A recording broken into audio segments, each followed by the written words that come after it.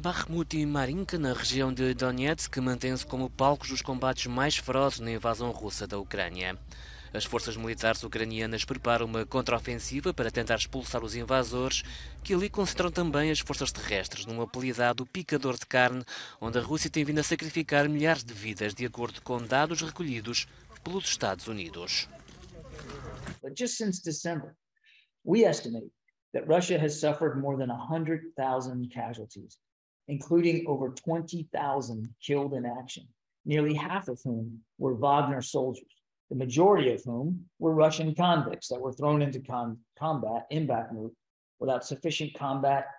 uh, or uh, combat training, uh, combat leadership, uh, or, or any sense of organizational command and control. Na segunda-feira foi notícia um novo ataque russo com mais de três dezenas de mísseis, mas também o descarrilamento de um comboio russo na linha de Briansk, a norte da Ucrânia, com suspeitas de ataque não reivindicado pela Ucrânia. O Kremlin abriu uma investigação ao caso. Há suspeitas de haver grupos de russos opositores da invasão na Ucrânia a tentar sabotar os objetivos de Vladimir Putin.